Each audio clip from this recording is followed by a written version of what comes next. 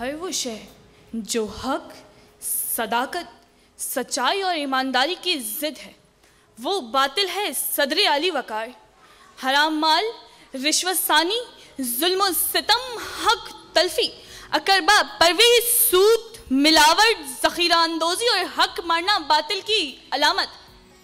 मोमिन बातिल के सामने घुटने नहीं टेकता, डटकर मुकाबला करता है। मोमिन के सीनों में अल्लाह ताला की वादनियत का तस्वुर अमानत की तरह महफूज है।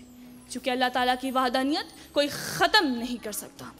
सदर अली वकार हम ही हैं, जो बहत्तर के होते हुए भी करबला के मैदान से पीछे नहीं हटे, डटे रहे, इस्लाम के नाम पर खुद को कुर्बान कर दिया। आज यजीदियत ख़त्म हो चुकी है, यजीद मर चुका है, हुसैन जीत चुका है। हज़रत मूसा सलाम ने फ़िरौन के ख़िलाफ़ हक का परचम बुलंद किया।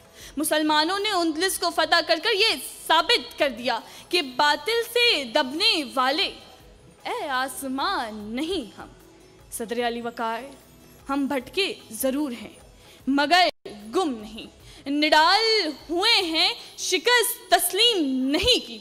हम आज भी किला इस्लाम के वारिस।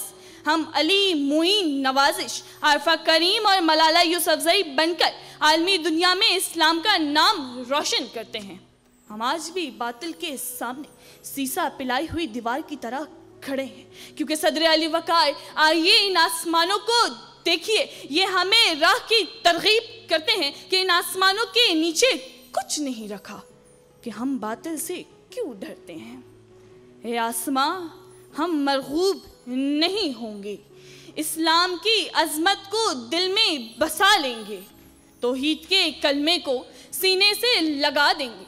सिद्दीक, उमर फारूक, उस्मानो अली हैदर सिद्दीक, उमर फारूक, उस्मानो, अली हैदर, असहाब के सीरत पर किरदार बना लेंगे।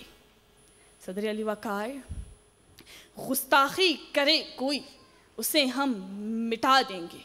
कुरान पर अमल पैरा होकर हम ये बता देंगे। वसलाम आपकी समाप्त बहुत शुक्रिया Palwasha thank you so very much बहुत बहुत शुक्रिया।